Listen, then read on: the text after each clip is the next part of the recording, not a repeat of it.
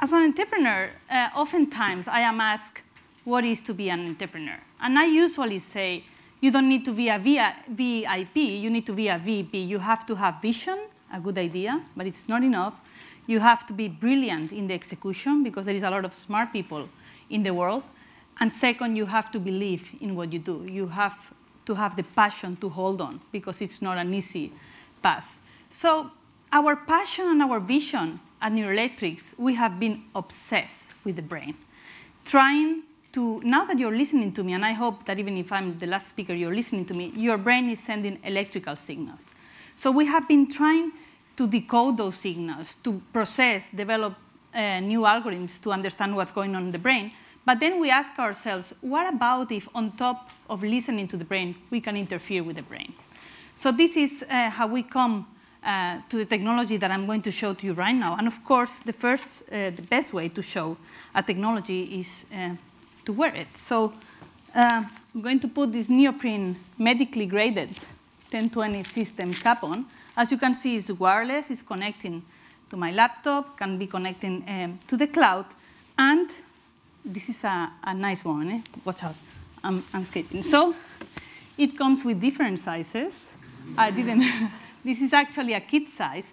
We were using this um, in hospitals, and they were calling this the Mickey Mouse cap to engage uh, children in the treatment, so we decided to actually make these Mickey Mouse ears. So I'm going to leave ET. I mean, in case aliens come to Earth one day, we can also have another line of business. So I'm going to show you now, if technology allows me to. Um, what you're seeing now, if, i if I move my head, you see the accelerometer um, data moving, meaning that if the doctor prescribes you home use, you shouldn't be washing the dishes. What you can see here is a real-time representation of my brain signals over the scalp, the power distribution of my brain signals. And what I think is really beautiful is that I can not only diagnose, but I can use the eight electrodes I'm wearing right now to do two things. I can excite the brain, I can send electrical currents into the brain. For example, if I suffer from a stroke, I want to excite that area of the brain, or I can inhibit brain activity. For example, if a kid is to have an epileptic seizure, I'm going to want to reduce the level of activity.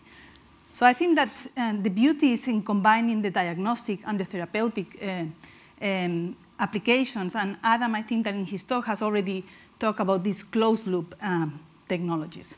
So our vision is that this should be taken home.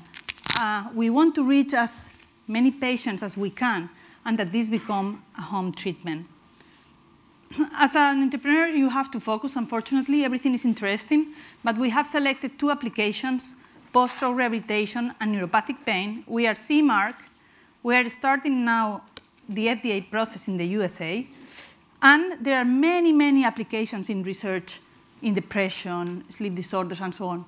We have selected two that I will go into a bit more of detail on. Clinically, what are we doing? you are going to see an example of this hospital in Barcelona. Uh, I, I, think you guessed by my accent that I'm from Barcelona. But um, this hospital is using uh, brain stimulation in spinal cord injured patients. They have this neuropathic pain. So this patient is seeing a representation of her legs in movement, which is activating her motor cortex. And at the same time, we are applying these currents. They do five to 10 sessions of stimulation, depending on the case, and the effects last for two to three weeks. Um, we are starting now home treatment with this uh, particular subset of patients with very nice results.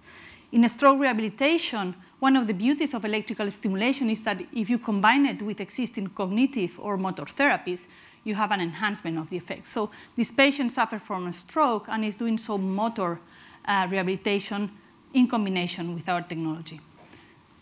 On the future, on the future, we see aging and gaming and the work that Adam is doing as something really, really relevant. I think that gaming is going to change the way we treat uh, our pathologies, and the combination of gaming with other technologies is going to help uh, the way we are um, aging and the way our cognition functions may be uh, reduced. Another work now that we are in UK that we like a lot is about uh, learning disabilities. So we have a professor here, Wire has also featured Roi Cohen-Kadosh, uh, working with children with dyscalculia, with this uh, mathematical disability, with also very nice results. So because of this last panel, we have focused on the medical side of things, but I have to say that there is people also uh, working in investigating, as you have been seeing in this panel, about how to best uh, use uh, these technologies for sports performance. So I think that's an area that we are going to see also growing in terms of uh, research um, in the future. You can see the full video at uh, Neuroelectrics. So to wrap up, um, I think we, our markets are the research, the clinical, and our goal is to go home. We are not there yet. Uh, at the research level, we have managed uh, last year only to sell in 35 countries. So these flags you see are actually uh, research institutes or clinics that are using our technologies. We did open an office in Boston, and I have to say that at the clinical level, we are focusing more in Europe because it's where we have uh, our certification. But we, we really aim to go from clinical to home treatment. So we feel like pioneers in understanding um, the electric brain, but we really want to take it to the home use. So we want to change the way we provide treatment to patients, and we want this vision and execution and passion that I discussed at the beginning to become a reality. So if, if you want to help us out, if you have any ideas, um, come and see us um, later. And again, uh, thanks Wire um, for helping us. We should have a picture, of course, of ET uh, reading Wire. and again, uh, thanks for, for this recognition. Thank you.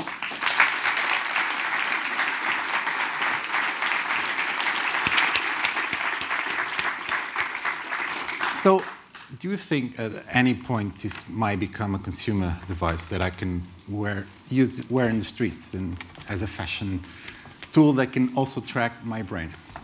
Well, in fact, there are companies that are more active in the consumer market than we are um, both in the EEG only monitoring, mm -hmm. you know, for meditation or other applications, and there are recent ones on stimulation.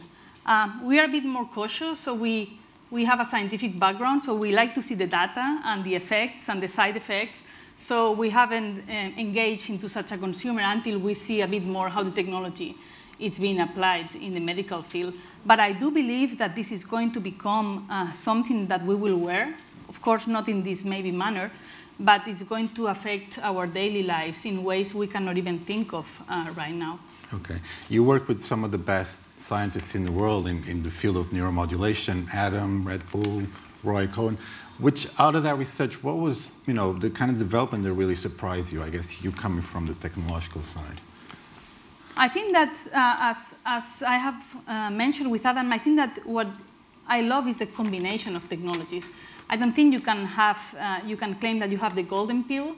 And I think that the brain is so unknown and we know so little about it that uh, there's still a lot of work to do. And by combining technologies, to me, it's one of the most uh, interesting things I think I, I have seen in the field. Okay, thank you so much. Ana Maiques.